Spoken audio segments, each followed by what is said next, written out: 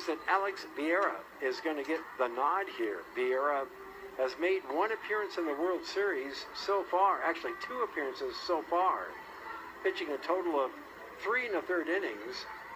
He has struck out two and walked one, giving up two runs both earned on four base hits in that three and one third innings, where opponents are hitting 286 against Alex Viera. Yeah, the 6'1 junior out of Naples, Florida, posted a 4 and 1 record during the regular season, 3.69 ERA, 26 appearances, all in relief.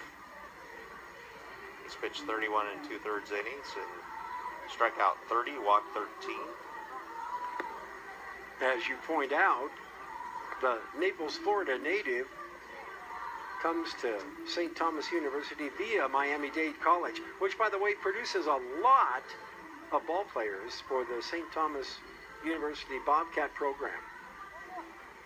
So here is Alex Viera now, and he'll face Junior Santos, the ninth man in the order for the Eagles of Faulkner.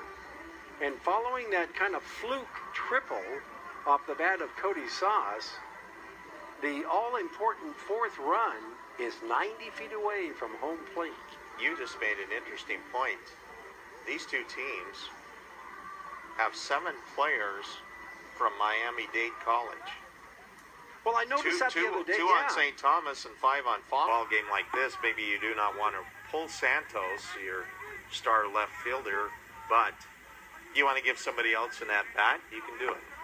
And they have done that with Mario Emerald. And the one-two offering now. Got him. Swing and a miss. Down he goes. That's a huge strikeout with the runner standing at third base. And now the top of the order. Here comes Chris Madera. We'll see salmon, but not so great for catching baseballs. The 2-2 pitch to Madera now. He checked the swing. They're going to tag him out, and he's gone.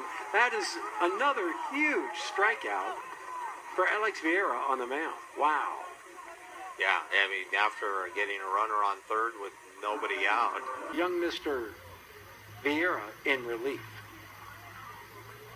The wind blows about 10 to 12 miles an hour towards right field.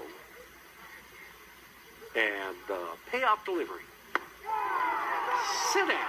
That's called strike three, and that is a gutsy performance by Alex Viera, who gets a nice round of applause down below.